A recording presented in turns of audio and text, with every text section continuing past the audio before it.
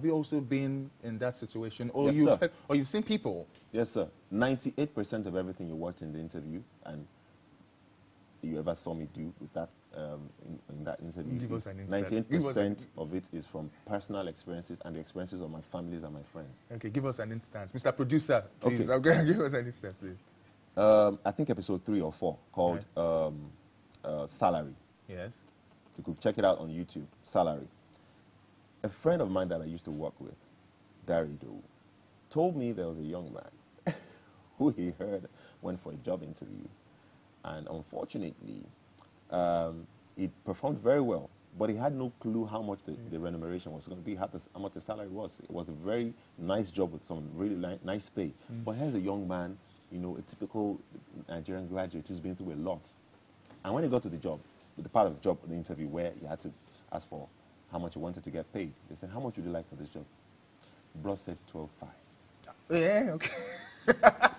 For a role that he could have gotten paid about 80,000. You could imagine the shock. Uh, They were- sure they'll be like, "Leo, They this couldn't- doesn't. They could, they said, what did you say? And you know, the funny thing was when the MD said, one of the people interviewing him there, the MD was there and said, excuse me? Yes, sir. Ah. 10,000.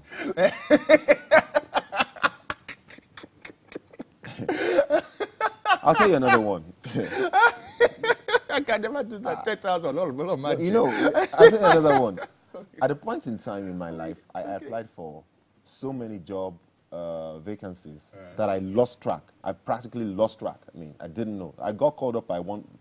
I got a call one day, and somebody said, um, "Is this Mr. So and so?" I said, "Yes, please. We got your application, and we think you, we really like you, so we want to send your credentials." You know, the first question that hit my mind was, "Sorry, what job did I apply for again?" Ah. I no no. The person didn't say any company. Just said this is me so and so from okay yeah so and so from Okay, so company. okay, I right. forgotten. I had forgotten I applied to that company. Imagine when you apply, all you do is open newspaper every Thursday and apply for all the jobs you see on page so so and so. You know. Mm-hmm. So I had applied for like I mean 50 jobs in about a month. I didn't know which one was which one.